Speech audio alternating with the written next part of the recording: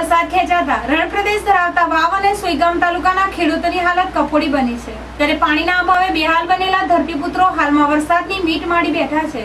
ત્યારે મેઘરાજા માને તો ઠીક, નહીં તો કેનાલોમાં પાણી છોડવા મામલે ખેડૂતો સરકાર સામે લડી લેવાનો મિજાજ જણાઈ રહી છે. બનાસકાંઠાના વાવ અને સુઈગામ વિસ્તાર રણપ્રદેશ ધરાવે છે.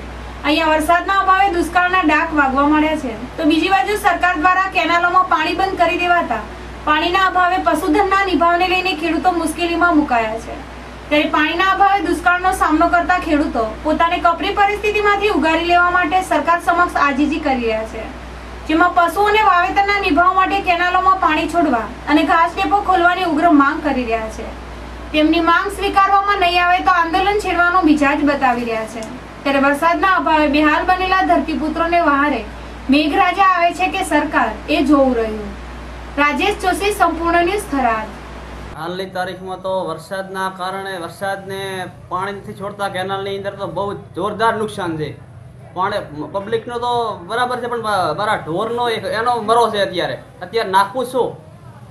પાણી પાણી પીવા માટે પીવાનું તો ઠીક જ છે પણ પાણી અત્યારે ઢોર માટે અત્યારે પૂળા અઠ્યાવીસ રૂપિયાના ભાવના પૂળા નાખવા પડે છે ત્રીસ ત્રીસ રૂપિયાના. એટલે નુકસાન તો મોટે પાયે જ છે. સરકારને આના માટે કોક જાણ આગળ કાર્યવાહી કોક કરવી જોઈએ પાણી માટે.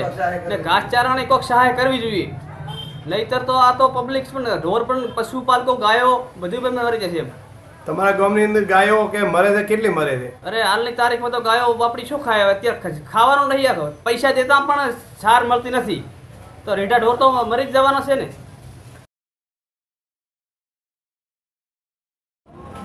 ઉત્તર ગુજરાતના બનાસકાંઠા પચાસ વિસ્તાર એવા વાવ તાલુકો અને સોયગામ તાલુકો, આ બંને તાલુકા ખેતીલાયક હોવા સોએ સો ટકા વરસાદ આધારિત હોવાથી સરકાર દ્વારા સિંચાઈનું પાણી બંધ કરવાથી ખેડૂતોનું જે વાવેલો પાક છે તે સોએ સો ટકા નિષ્ફળ જશે અને અમો ખેડૂતોએ સરકારશ્રીને વિનંતી છે કે અમારી કેનાલોમાં સિંચાઈનું પાણી આપે અથવા તો અમારા પશુઓ માટે ગામડે ગામડે ઘાસવાડા ચાલુ કરે, નહીંતર અમારા પશુઓની કફોડી હાલત છે અને રેડી ગાયો ટપોટપ ટપોટપ, ટપટો મૃત્યુ પામશે તે તેવી સરકારશ્રીને નોંધ લેવા અમારી ખેડૂતોની નોંધ લેવા સરકારશ્રીને વિનંતી. જો ટૂંક સમયની અંદર અમારો સરકાર દ્વારા પ્રશ્ન હલ નહીં થાય તો ઉગ્ર આંદોલન કરવામાં આવશે. આદરી જુવારનું વાવેતર કરેલ હવે વરસાદ આવતો નથી, કેનાલનું પાણી આવતું નથી, અને બે કુરતી કુદરત ઉઠ્યો ને એક સરકાર ઉઠી હવે ખેડૂતોને રાવાનો માર્ગ જીવ ગોતો ને એ જ પ્રશ્ન થઈ ગયો કાં તો કેનાલમાં પાણી આવે તો અમે મારો માલ અને ઘરનું બધું પા થાય. નકા પાસે વરસાદ આવે તો મારો નિકાલ આવે. બેમાંથી એકે પણ નથી. એક બાજુ કુદરત થાય ને, એક બાજુ સરકાર થાય એટલે વચ્ચે પબ્લિકનો મરો થાય ત્યાં પબ્લિકને શું ગુનો કર્યો, આવો મરો, આવે એમ તાર વોટ લેવા સરકાર આવે તાકે તમારે નહેરનો પાણી આલજો આમ કરજો તેમ કરજો. એ પ્રમાણે કોઈ છે જ નહીં વ્યવસ્થા. તો સરકાર દુઃખમાં સાથના હાલત પતે તો શું કરવાની? બનાસકાંઠા